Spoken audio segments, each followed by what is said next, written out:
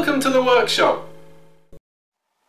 The mitre joint is used when we wish to join two pieces of wood together at an angle. The joint line in a mitre joint will bisect the angle at which the pieces are joining each other. Quite often the mitre will be at 90 degrees, for example in a picture frame.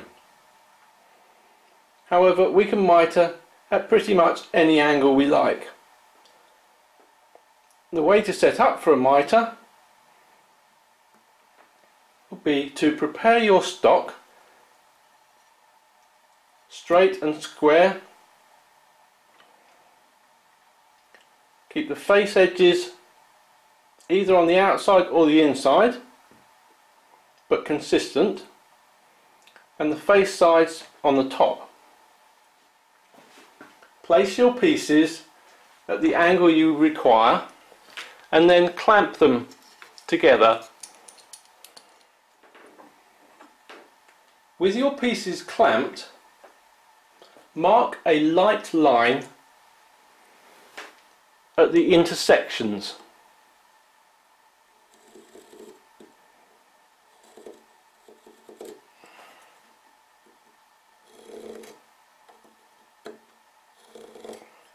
On both pieces of the work.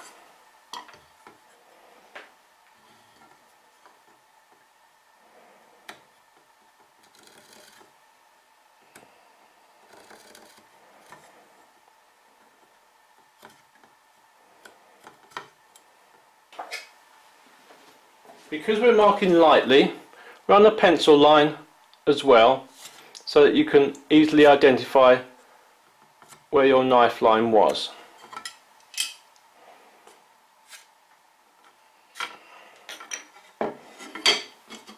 Unclamp the work. Now take a straight edge and knife a line from where your previous marks cut the edges of your boards.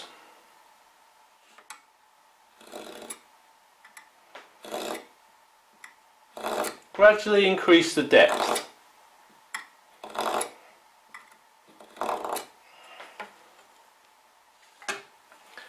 And the same on the other piece of work.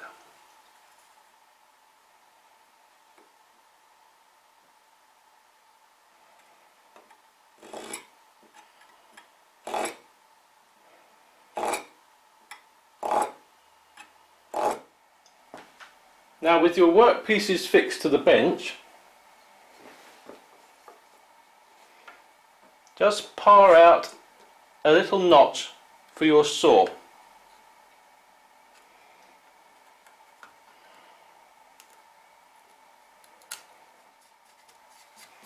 This provides a shoulder against which the blade of your saw can sit so as not to damage the face of the work. Knife a line down the face edge of your board from where your previous knife line cuts it. That's the vertical line we will be sawing to.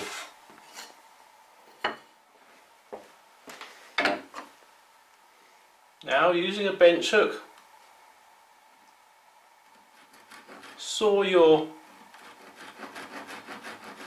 joint line, making sure to keep perpendicular to the work, following the marked line down the face edge.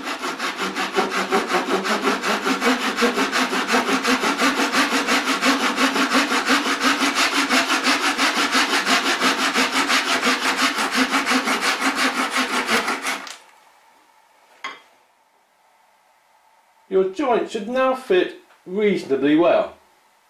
The next stage is to use a plane and shoot these mitre joints for a perfect match.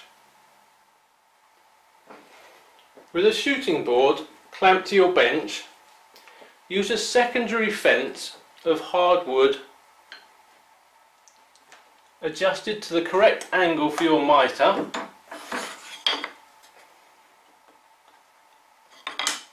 supported by the shooting board's fence and then clamped at the front edge to your bench.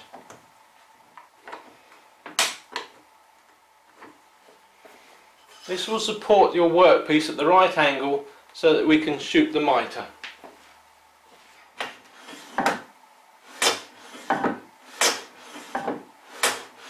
Be sure to clamp your work in hard with your hand so it doesn't slip down the fence.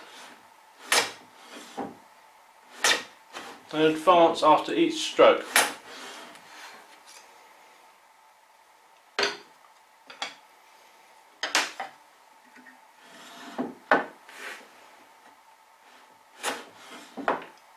Do the same on both workpieces until you're getting a continuous shaving across the end grain.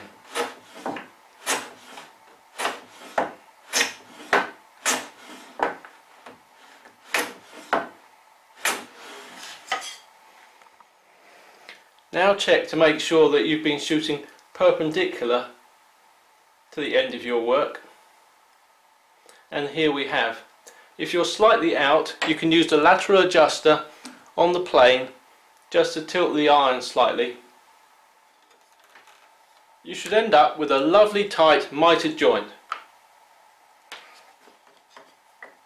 Because the joint is primarily end grain, it won't be particularly strong.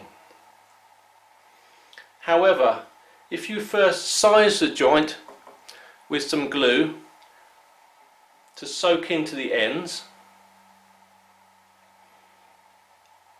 and then glue together for most purposes it should be okay but we can reinforce a mitre joint with various techniques one fairly simple technique is to cut a kerf through the thickness of the material and then insert a thin piece of veneer that just fits that kerf with glue on it. You'll then end up with long grain to long grain attachment and the joint will be a lot stronger. It's also possible on the back side of a joint to cut in a little key into which you can glue a piece of material again giving long grain to long grain surface. We'll do another video showing these techniques. So the mitre joint, quite an easy one to do I think. To make a basic mitre joint all you need is a marking knife, a clamp and a saw. To make a lovely crisp joint then shoot the ends. I hope you'll give it a go.